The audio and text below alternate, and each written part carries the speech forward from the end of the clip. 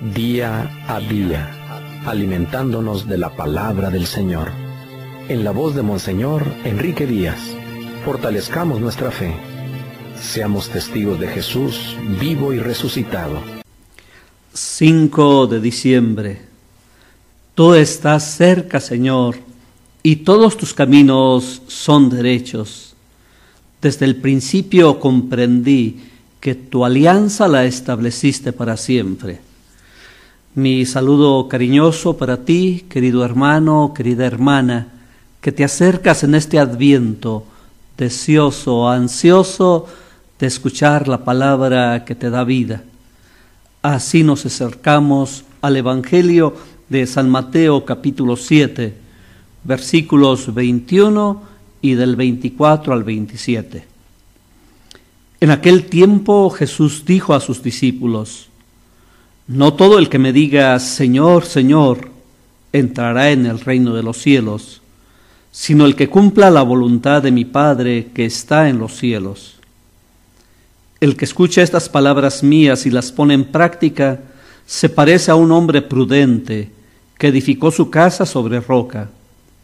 Vino la lluvia, bajaron las crecientes, se desataron los vientos, y dieron contra aquella casa. Pero no se cayó, porque estaba construida sobre roca.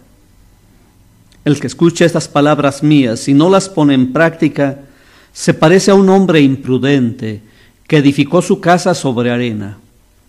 Vino la lluvia, bajaron las crecientes, se desataron los vientos, dieron contra aquella casa y la arrasaron completamente.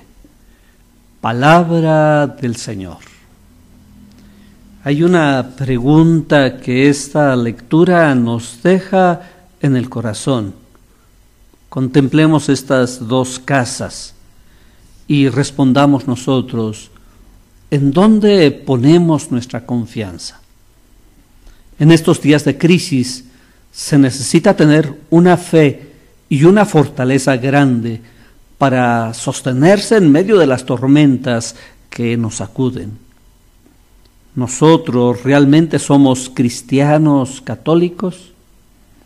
Quizás lo manifestamos con algún acto de piedad o por haber recibido algún sacramento, pero hoy las palabras de Jesús suenan a reproche fuerte que nos puede tocar directamente y que nos puede confrontar tanto en nuestra vida personal como en nuestra vida comunitaria.